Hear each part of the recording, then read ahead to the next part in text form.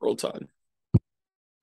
What's going on, guys? Zach and Spence here from iTrendz, bringing you guys another watch list on Sunday night. Today is the second, the second of October. Happy October, new month in the market.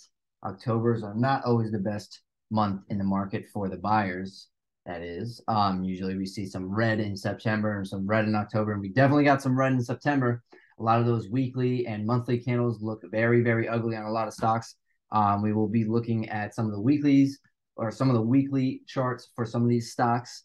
Um, but going forward, let's just take a look at what we have on the week. So what's really, really important that we have this week in as far as news is the non-farm payrolls. That data comes out on Friday at 8:30 in the morning with the unemployment rate. So that's really, really important. And everybody in the market will be watching that. So uh, make sure you are attentive to that. We do have some various other slightly important news events that are coming throughout the week, like Monday, Tuesday, Wednesday, etc. Um, early in the morning. But non-farm payrolls is by far the most important thing. So we just mentioned how we had lots of selling pressure, um, not just this week, but all of September. We are definitely a little bit oversold. That doesn't mean that we're going to be, you know, have a bounce to the moon like we did last time in June when we had this big, big bounce. It's not what we're saying here, but we do have to be cautious and mindful of any type of bounce in the market. Um, we don't have a crystal ball. We can't tell when that bounce is going to occur. There is definitely a lot of selling pressure that's occurring, um, but we cannot tell when the bounce is going to occur. So all we have to do um, to best prepare prepare ourselves is watch the 10 year and then watch the VIX as well to help guide us through. So any selling in the 10 year yields um, will provide a little bit easier um, access, if you want to call it that, to the buyers buying the market back up a little bit. Now, with that being said, it's going to be very difficult for Spence and myself. It's it's a little difficult for us to see SPY getting back above this 370 to 375 zone. This is really a, a five point zone in here. Um, it's going to be a little difficult for SPY to get above that. If it does get above that, however, it's going to have a very difficult time as well in this 380 to 385 area as well. So it's like if we do get above that 370 zone, we don't have very much room on the upside above that before we need even more selling pressure. So with that being said, um, we've got a lot of selling pressure above us. Honestly, all we need is a little bit of a relief on this RSI. You can see that it's actually oversold all the way in the bottom here. Um, what we were look we what we would be looking for or what's ideal is just a little bit of a cool off. So that can come in any type of consolidation. So in consolidation, you saw that we actually went oversold and bounced out of oversold territory we can consolidate so we don't have to necessarily bounce in the market to see a relief, although that would obviously provide a larger relief, something like this, where we can actually have further selling pressure um, and not be super overextended to the downside, right? Where it gets a little bit harder to short some stocks, especially ones that are really, really low already, and then also doesn't increase um, that implied volatility so we can have some more profitability on our contracts. So I have a few um, few trades that I'm going to go over today, and Spencer has a few trades as well. So to start, Airbnb is a really, really nice trade. Unlike some other stocks, it actually held up other than um or, or better than rather that there's a lot of other than's and rather than let me restart this. Airbnb held up a lot better than all their stocks. So this stock right here um, looks like it's got a lot more downside, pretty much all the way back down to this 90. But of course, that's not going to happen in one day. Um, really, I am looking for. I'll zoom in here on the hourly here. As you can see, we had this really harsh rejection and back tested this 112 after we had a big break of it um, back on the 22nd. So I'm looking for us, honestly, just to break these lows. This 104 level, take shorts under this 104 level, and I'll take it back down to this 100 to 101 area. And then if we do see some type of bounce, like say we see a bounce overnight in the futures, uh, right now we are a little bit red on the futures, but if we do see some type of bounce and we're we're kind of cooking back up to the upside. It'll be an excellent area in this 107.75 to 108 area, 108.75 for shorts. Again, enter for the same price target 100. And then underneath 100, I mean, you do have some stops. You have a stop around 97.60, you have a stop around 95, but ultimately going back down to test these lows at 90. This is a great trade. Um, as far as a day trade, I am looking at you could take these 103 contracts if you'd like I'm also interested in these hundreds. If we get the break below and no back test, I'm interested in the hundreds. If we do get a back test, I'll probably be more interested in these 103s or 104 contracts. Of course, shorts, uh, weeklies. So going forward, let's pick another trade here. PayPal is another interesting one. PayPal had a very, very large retracement here back to this 91 with the market, of course. Um, once we had that bounce ish, and I don't want to call it a bounce, but once we had that that small green day, PayPal saw a lot of green off of this double bottom right here, this 84 area. But now retracing and, and forming this M right here with a nice little neckline. So if we get up to this 88 level, this is what's desired for me. If we get up to this 88 level, got to load shorts, got to load shorts back down to this 84 area, then 82. And then underneath 82, you don't have very much support, kind of similar to that Airbnb trade, but honestly, just a little bit more held up than um, Airbnb itself. So inside of this 77 to 76 zone is definitely a feasible area for PayPal to pull back down to underneath this 82 ultimately. Um, so I'm pretty excited for this trade as well. You could take a short underneath this 85, 89, although it might not be the first short that I'm looking for.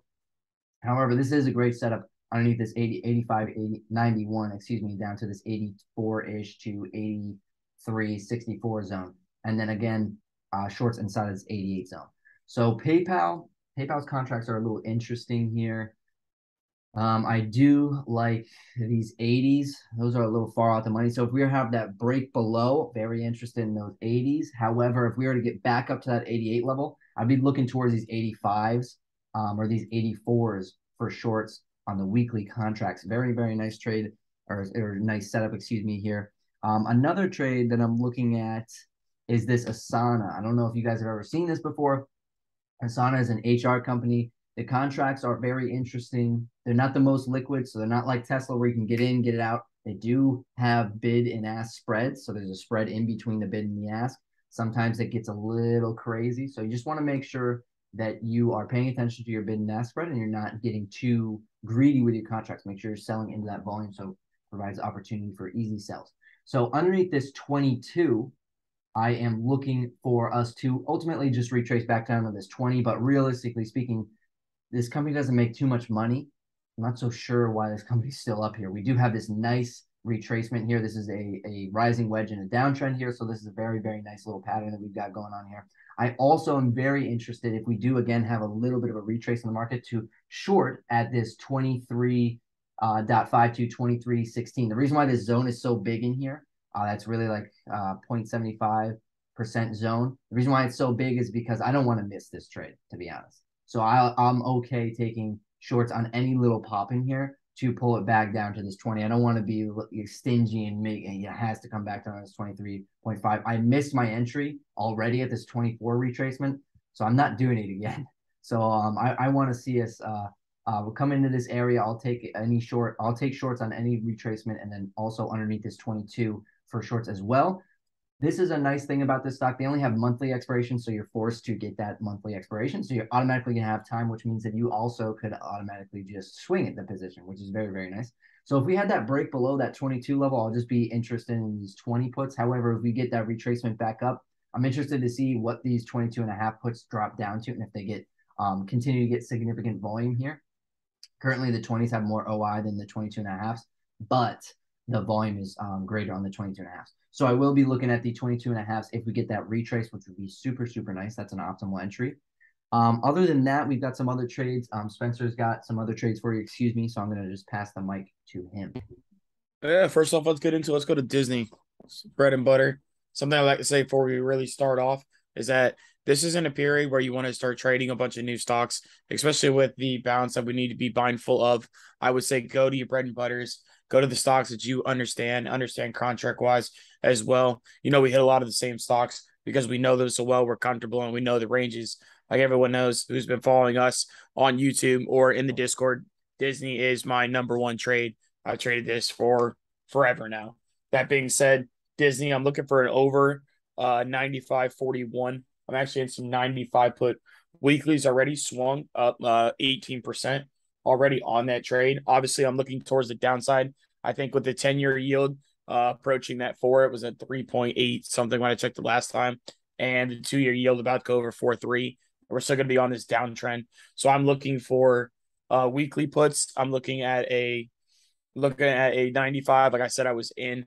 Uh, but if we get under 94.15, I'm more interested on going on that monthly strike to take a 90 put for 10 21. So I'm looking for under 94.15, first stop at 92.12, second at 90 25 personally uh for the, talking about bottoms or where to pick up shares i'm looking at 87 and potentially 79 on the long ways down and that's something i'd like to say uh just a little note as well is that we are seeing pretty rough conditions in the market, but just understand that you're going to have to dollar cost average in on any positions you're trying to build on. So just keep that in mind. But I'm looking at that 90 put for 1021. If it goes over that 95 41, not really interested on that top side. I'll be looking at that 90 going out to that October 21st. Second trade I'm looking at is Tesla. Tesla just reported delivery numbers. Delivery, they delivered 343,000 vehicles burst the streets estimate of 364. They did produce 365 vehicles. Austin is maintaining a thousand dollar a thousand car production uh per day on their line or per week. I'll check it out. But they're uh they hit that thousand mark milestone in Austin. They also uh reported that they shut down the Shang high site for upgrades and they're back on regular schedule programming. They did shake up some in um internals when it comes to the executives but they also uh, have hit the most production they've had in all their facilities. So just something to keep an eye on. So for me, I think that their delivery report was pretty bullish. I have to check out what that Optimus robot is, and hopefully I don't see it anytime soon. But that being said, I'm looking Tesla over 271.60. I'll be playing weeklies on Tesla just because of their report. I'm actually pretty bullish on the name. I'm looking at a 280 call for 475. Like I said, over 271.60. And me saying that, I think this stock can easily retrace to 285 at, you know, top side, maybe even 287 and a half pretty quickly where we're at. Now we are going towards the bottom of this range. A Tesla does break that 260.29. I think it's going to 252.79. Not a lot of support. So obviously you're going to have that psych level at 250. You'd be looking at a 250 put for 10 7. Like I said, I am bullish going into this name. Now, also, the market's going to have to keep up just because Tesla valuation, if we're going on just valuation, is overextended for the market it's in. So just keep that in mind. But I am looking for the upside on Tesla based off that report. Next, we're going to go to Apple, which is pretty much controlling this market. And it broke down and fell down rather drastically. And honestly, I think a base here on Apple is going to be around that 130, if not all time lowest, going towards that 125 for me personally. Not all time low, but in that 125 range towards the bottom side. As you see, Zach, Zach has to go way, way back to even try to find anything. So I'm thinking in that 120s is where we may settle out. That being said, uh, Apple over 141.40, more than welcome to play the 145s. We saw tremendous volume going in both directions. So just keep in mind there's a lot of liquidity, a lot of volume in there. So you can have some great scalp trades. And I say scalp trades towards the top side because you can just see this push up, reject, push up, reject. And it's still, as of today, the number one shorted stock over Tesla and the regular market. So it is being heavily shorted. So that's why I would be skewed toward the downside. So, like I said, over 140, 140, you play the 145s. Under 137.12, you got two options here. I think the first stop this week is going to be the 133 puts. They're currently sitting at a dollar forty. Or if you wanted some time, there's a lot of people out on the 130s for 1021. Obviously, got to pay a little more for that, but there are a ton of people there. And 130 just being a zero side level, a lot of people going out there. So just something to just something to keep an eye out on. And my last trade of the week, kind of kind of interesting, is uh Starbucks actually. It's held up if you look at relative of how the market fell pretty well in the last honestly the last like week or two, which is pretty surprising to me. I think over 85 85 30 you'd be looking towards the upside more like 87 um 87 call weekly under this 8376 i am looking at an 80 put going out to 1021 definitely need some time on starbucks contracts in general and they do move a lot. So just be very mindful when you're playing this stock specifically the contracts. They do move pretty drastic but in the right direction they do start paying out pretty handily. So that's just kind of on my back burner. What i'm really looking for honestly i'll be watching the 1021 contracts going in either direction for honestly all of all the stocks on my watch list. So you go down your watch list, you're looking at AMD, you're looking at anything that you think's under your normal repertoire or your top 10 or 20 be looking to see when the volume starts flowing in on those monthly contracts because that's where the institutions will start buying into or they'll start loading into their positions if they're going to go option contract wise to uh, support a hedge. So that's something I'll be watching just because Q3 did end. We're going into Q4. So you should see some just naturally some buys flow in through the week, but you want to see where these large institutions are putting their wall in, e- in either direction. So just be mindful, be mindful of the bounce. There are a couple, uh, there are five contracts that I'm looking at, just the contracts in general. Uh, first off, Baba, a 75 put for 10 7 if you look at Baba, Bo, Zach, and I took a look at this stock. We are extremely low. We see this thing coming down 72, pretty much the bottom. We called this alert actually out in our Discord. So if you want the link to that, go ahead and check in the description to get that. Call this out at 63 cents, currently sitting at 74. We just see these contracts, this, this stock continue to dwindle down. China's not going to be a strong suit or where you want to go into, especially if Putin's threatening a nuke, because China will have to back off and that'll cause fears in China. So we're gonna have to pull that off. I'm going 75 on Baba. So next one, Zach already mentioned this. I love the Airbnbs 100 puts. Me personally, I'll probably open one up beginning of the week and then add on a bounce. But that 100 put, solid. I mean, Baba had his had his little retrace, couldn't hold up. So I really love that play. Good job, Zach. Uh, another one I'm looking at is Spy 340. 3400 level on Spy is key. Now there was a flow, a five million dollar flow that came into SPY 340s for 10.5. Contracts went from 40 cents all the way up to 81 cents the next day, back down to 14 cents, and now they're holding at 40. The 3400 level is a key support and it's going to be a key fighting ground. We'll probably sit here for a week or week and a half or November 18th, death day, writing your book, 100 basis points, still hammy, calling it out now. Anyway, SPY what I'm looking at is I'm already in the group's already made some good money up at 340s for 10.5. I'm looking at a SPY 340 put for 10.7, sitting currently at 86 cents. I see further downside, especially we get under SPY, get under towards that 350 level, 352 and a half and some change. We just came into this box. As you can see, Zach has it outlined and my chart is very similar with this little range he has right here. We get into that zone. Those 340s come into play.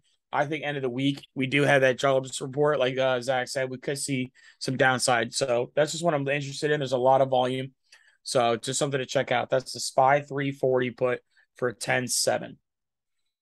Take a look at that really quick. Just so yeah, pull it up real quick. Thank you. Pretty cheap, honestly. 85 cents. But look at the look at the volume and open interest. Yeah, that, there's a lot there. No, I'm just saying this is it it look it's a obviously it's a lot of strikes out. That's pretty far. However, I mean, that's pretty damn cheap. I mean, I think you can you can use eighty five cents for sure. 85 bucks you're thinking you're thinking you're taking this to dollar 10 dollar 15 easy win that's what i'm thinking about obviously 340 we are we are 17 dollars out not saying that that can't happen if the 10 year hits four it's going to have a a if the 10 year yield hits four percent it's going to have a heavy reject when it hits that. We saw that last week. They went up to tap, got demolished. It goes again and confirms over.